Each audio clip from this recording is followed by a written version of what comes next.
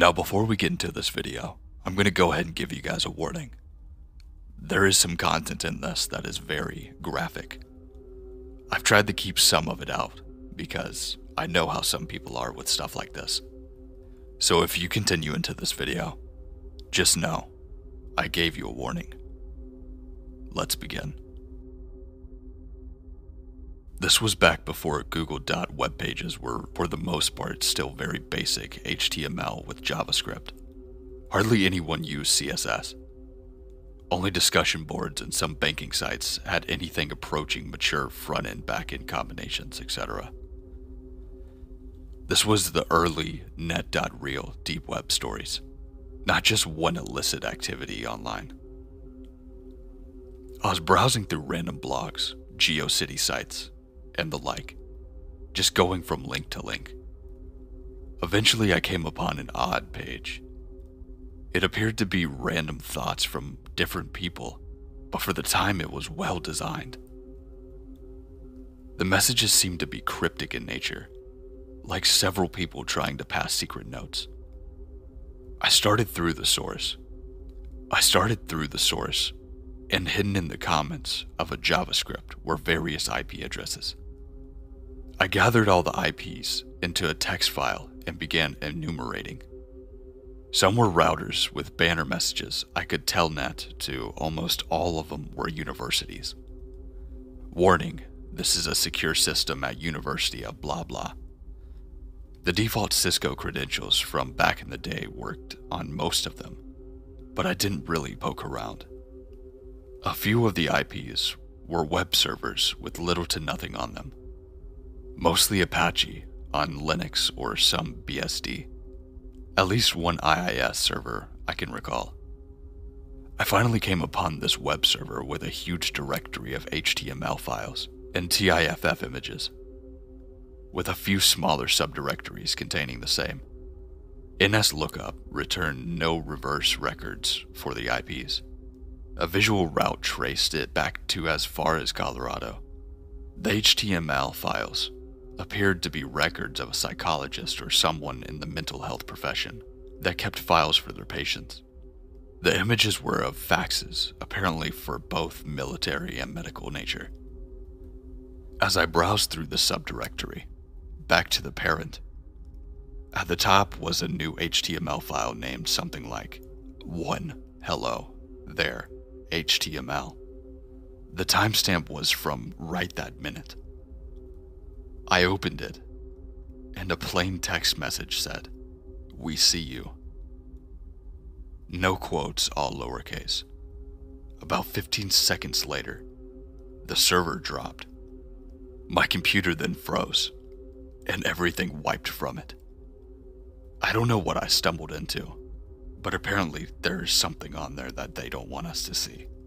I probably won't go back on, but it's been a very long time since I have and I still have questions.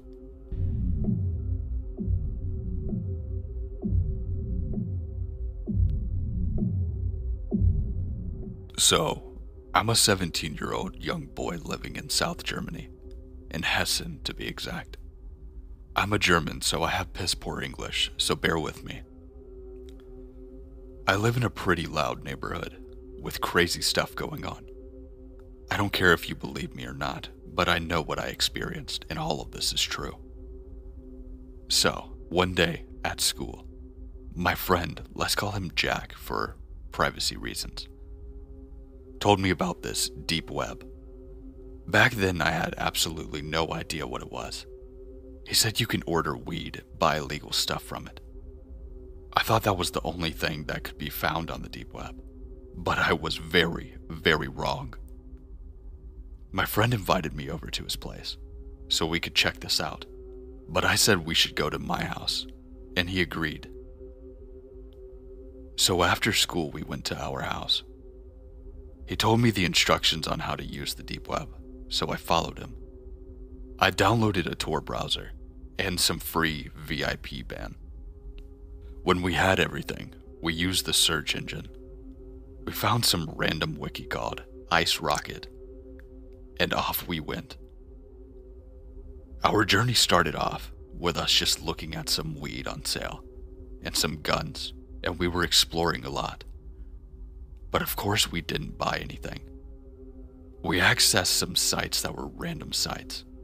It was completely blank, but then pop ups started showing up. There were a lot of links leading to some random sites. So we clicked on this random one. The site was named something like Child Experiments. I told my friend that this was some deep shit and we should probably leave the site. But his curiosity got the best of him. He started scrolling down and there were some pictures of things that I'm not going to talk about. I was honestly disgusted and I told him to leave it immediately. But he just didn't. I just regretted it and I wanted to shut down the computer. Plain and simple. Then there were some videos, and one was named something that I I just can't think about right now. It scarred me. He went to click on it, and what I saw next haunted me for the rest of my life. I can't. I just can't explain what I saw. I felt heartbroken. There was a child struggling and screaming. I'm just gonna say that. What sicko would do this to somebody? Then all of a sudden, a chat box appeared. A guy named Fire435 or something said, Hey, you enjoying this? We didn't know what to answer with. Hey, I'm talking to you. Then a live video stream showed up. It was of us. Us being recorded through our webcam. I didn't know it was on. We panicked and tried shutting down our computer, but it didn't react. Why are you trying to leave? We're just hunting for our next victims. Me and Jack were almost in tears. Then that sicko read out our street address, name, age, and literally everything personal. Jack then unplugged the computer and it shut down, thank God. All of a sudden, Jack's mobile beeped. It was a message from an unknown number and it read, I'm going to find you. Jack immediately blocked the number. We had a short discussion on what the hell just happened. We were worried for our lives. What if this dude really did find us? Months later, we almost forgot about this experience. Until there was a delivery for me. It didn't have a name written on it, but I was curious and I went to see what was inside it. I wish I had never, ever opened that box. There, I found a picture of a human heart. The box was full of child's parts. I screamed and dropped the box immediately and called the cops. They investigated and said that if they found further information, they would let us know. After that, everything turned back to normal and I've never heard of that shit again.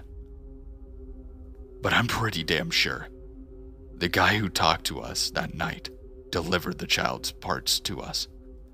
Sometimes I wonder why this world is just so cruel. And for everyone who hasn't been on the deep web, I suggest to all of them stay out, or your life will be in deep danger if you go in the wrong places. Don't do what I did.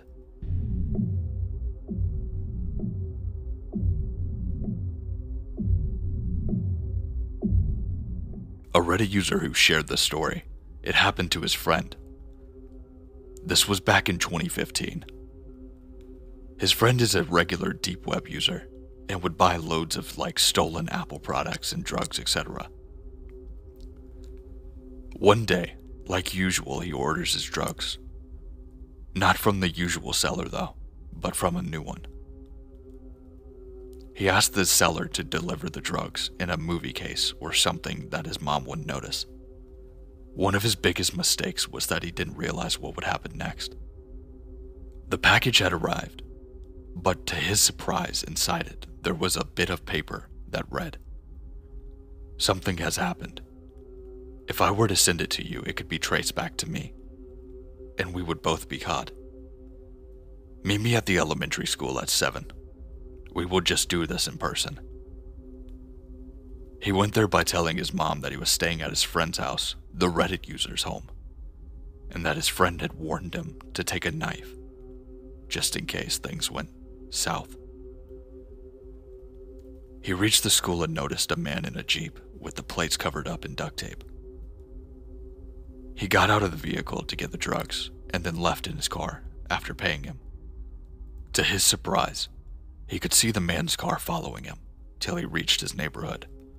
So, to shake him off instead of leading him to his house, which would have been a very bad idea, he made some random turns and made sure that he lost him. Then he went and pulled into his garage. But the serious incident happened that night. He could hear the sound of a car engine. Two men were seated in the same car that followed him. The driver was the drug dealer. The second one had very messy hair and a trashy t shirt. And while it was hard to see, my friend could almost make out a scar from a massive burn or something on the side of his neck and on his face. He was watching them from the window, and the second one often looked into the window where he was standing, and then he lost his cool. Now, he didn't care about the consequences and called the police after moving away from the window. The police asked him to grab a weapon to defend himself just in case they would try to enter the house. Finally, he could see a figure coming out from his mom's room with a knife in his hand. With full force, he was charging towards him after shutting the door behind him, but then he grabbed the pot and hit the man's head. After turning on the light, he noticed it was the second guy from the car and stabbed him in the shoulder with the knife he dropped. Then, in a few minutes, he could hear the police sirens, and both men were arrested. The Reddit user then says, But my friend's mom had been killed. Her throat had been slit, and she had 23 stab wounds and duct tape covering her mouth. He was charged with possession of drugs and lost his mom because of his actions. He didn't buy any drugs from the deep web again. And now he has to live with that for the rest of his life. Just because of his actions. The Reddit user then says, My friend has still not been the same since. He spiraled into a deep depression. Please, don't go on the deep web. There's nothing but bad things on there.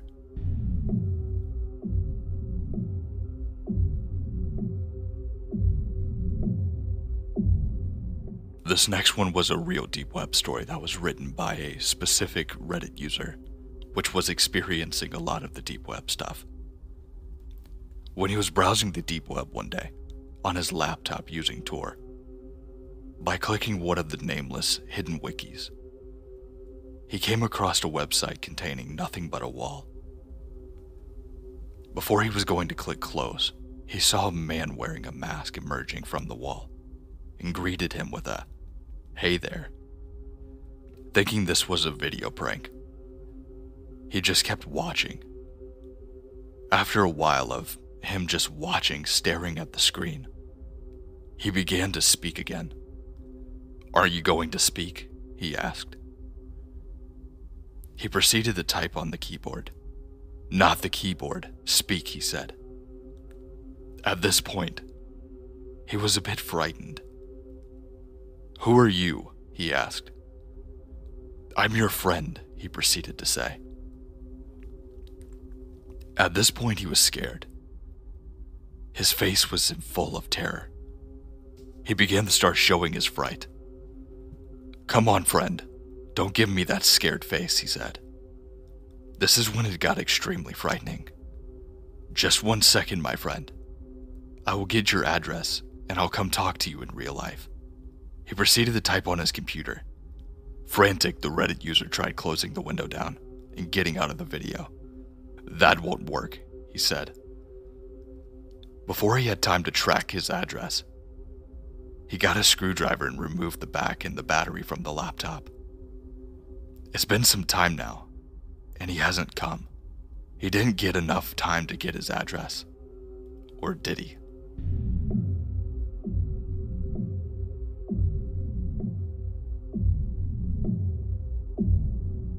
There have been many instances on Deep Web where users have repetitively found terrifying live streams.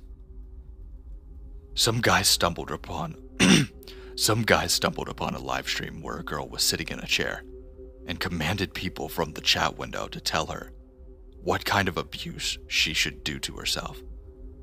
After many cuts, bruises, eye gouging, the girl eventually killed herself on the live stream.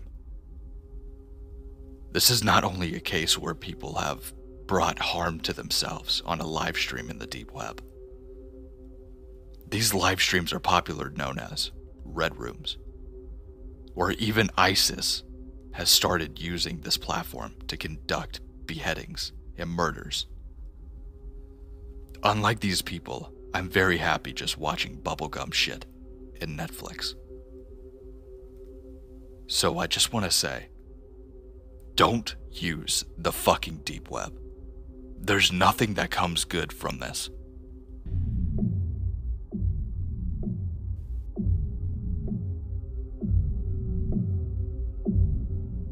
Now, if you made it to the end of this video, just know I did warn you. I've never gone on the deep web myself, but I don't think I'll ever end up going on there.